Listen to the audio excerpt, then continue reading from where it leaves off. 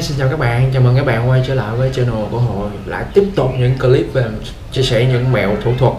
Thì uh, hôm nay thì Hội sẽ chia sẻ mọi người cái mẹo làm sao chúng ta có thể xóa được cái thông báo là uh, hay là những cái ảnh hay là những cái uh, email hay là những cái backup về uh, danh bạ ở trên iCloud và về khi mà uh, À, iCloud của chúng ta bị đầy á, thì ờ, chúng ta không thể nào mà lưu được thêm gì nữa. Thì để làm sao chúng ta có thể xóa được những cái ảnh hay là những cái ờ, solo backup trên iCloud mà chúng ta bị đầy? Khi chúng ta bị đầy thì bây giờ hội sẽ hướng dẫn mọi người cách để chúng ta à, làm như thế nào nhé. Rồi bây giờ mình sẽ mời mọi người vào trong phần cài đặt. Đây cài đặt ở đây. Rồi mọi người sẽ vào trong cái iCloud của mình. Đó rồi. Uhm. kích vô thì à, mọi người sẽ vào trong phần iCloud này ha. Rồi. Đấy, trong này mọi người chắc chắn mọi người sẽ bị trường hợp giống như mình thôi. Là iCloud của mọi người cũng bị đầy như mình đúng không? Đấy mọi người thấy không? iCloud của mình cũng bị đầy nè. Đấy rồi mọi người sẽ sao à, đối với những cái trường hợp mà để bị đầy thì mọi người vào thẳng trong phần quản lý dung lượng luôn nha. Rồi quản lý dung lượng thì mọi người thấy hiện tại iCloud của mình nó khá là đầy rồi. Nó không còn nữa và nó bắt nâng cấp này các bạn thấy không? Nâng cấp dung lượng iCloud này dung lượng iCloud các bạn để gần đầy. Để thêm dung lượng để tiếp tục sử dụng ảnh nè solo email và các à, ứng dụng khác với iCloud. Thì cái bản các cái bản solo này á thì cái bản solo này ở này là chính là cái những cái dữ liệu mà mình nó lưu ở trên cái điện chính cái điện thoại iPhone này của mình ha. Chính điện thoại iPhone này của mình. Thì, thì mình sẽ um, xử lý nó bằng cách là mình xóa trực tiếp trên cái điện thoại. Còn đối với tài khoản iCloud á, là nó sẽ nằm nó solo nó nó, nó sẽ backup ở đây nè. Nó sẽ solo nằm ở trên cái cái cái cái à, mục này. Nó ngoại trừ các cái bản solo ra. Các cái bản solo này á nó chính là những cái gì mà nó lưu nằm trên điện thoại của mình. Thì để mình giảm dung lượng thì chúng ta sẽ xóa trực tiếp trên điện thoại. Còn nếu mà chúng ta muốn giảm dung lượng iCloud thì chúng ta sẽ vào trong cái cái mục này. À, ví dụ như một ảnh đi. Một ảnh là tới 3,7 GB nè. Đó, nó nó đã sao lưu từ những cái điện thoại trước của mình đó, đó nó sao lưu trực tiếp lên iCloud của mình. Thì bây giờ để mình giảm cái dung lượng ảnh này á, thì mình sẽ bấm nút tắt và xóa.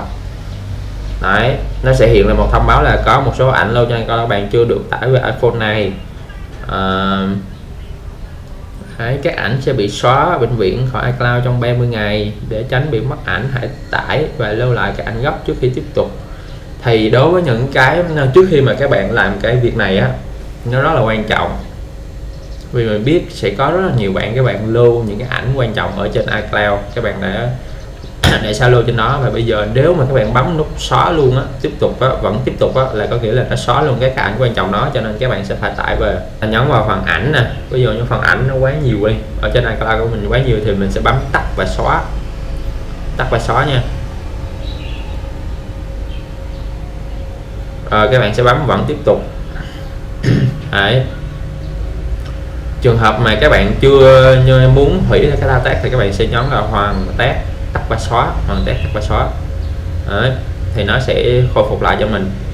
Tại vì à, phải sau 30 ngày thì cái à, à, thì thì à, nếu bạn muốn ngưng á ngưng uh, sử dụng ảnh iCloud và khôi phục dung lượng iCloud á thì bạn có thể tắt tính năng này. Sau đó thì bạn sẽ có 30 ngày để tải ảnh và video của mình về. Đấy, cho nên là các bạn có thể hoàn tất được việc tắt và xóa này. Đấy, rồi ok thì sau khi bấm hoàn tất tắt và xóa thì các bạn sẽ thấy là cái dung lượng iCloud của mình nó phục hồi lại rất là nhiều. Và các bạn có thể uh, tắt bớt những cái tính năng uh, sao lưu dữ liệu này ha. Các bạn tắt bớt danh bạ này cái này nọ. Ghi chú là nhắc vậy. Nhẹ sức khỏe để các bạn tắt bớt. Thì nó sẽ giảm cái cái dung lượng iCloud nó uh, ấy rồi thì uh, tiếp tục. Nếu mà các bạn muốn uh, giảm bớt của cái phần khác thì các bạn có thể là kích vô cái phần khác ví dụ như là uh, sức khỏe này không cần thì các bạn tắt và xóa đi cũng được. Đấy, tắt và xóa. Những cái phần nào các bạn không cần thì các bạn nhấn tắt và xóa là xong. Nó sẽ giảm cái dung lượng iCloud của mình xuống một khúc ở đây. Rồi các bạn có dư ra. Các bạn sẽ có thêm dung lượng iCloud để sao lưu các cái hình ảnh khác hay hơn. Rồi cái phần nào không quan trọng ví dụ như là ở phía ngoài các bạn quay ra là lại phía ngoài nè iCloud này các bạn tắt cái phần xuất hiện đi ha. Tắt đi thì nó sẽ không không phải solo lên iCloud của các bạn nữa. Rồi uh, wallet và chứng khoán gì này không cần thì cứ tắt đi. Đấy rồi. À, lời nhắc đây lịch gì đó rồi tắt.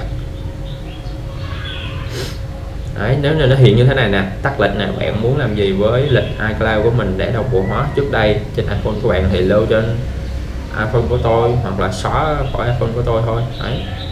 tùy các bạn. À, các bạn hãy đọc kỹ trước khi khi một cái thông báo nó hiện ra thì các bạn hãy đọc kỹ. Tại vì cơ bản đây là cũng toàn là tiếng Việt không à nó không phải là tiếng Anh cho nên hãy đọc kỹ trước khi làm một cái điều gì đó trước khi là cảm thấy là là, là, là quế buộc với hành động của mình nha. Ok thì video của mình đến đây là kết thúc rồi. Nếu mà các bạn thấy video hay thì quên like để cho mình động lực làm những video mới hay hơn à, vui hơn. Còn nếu mà các bạn chưa đăng ký kênh hãy đăng ký kênh để xem những video mới nhất của mình nha. Ok bye bye. Hẹn gặp lại các bạn ở video sau. Bye bye.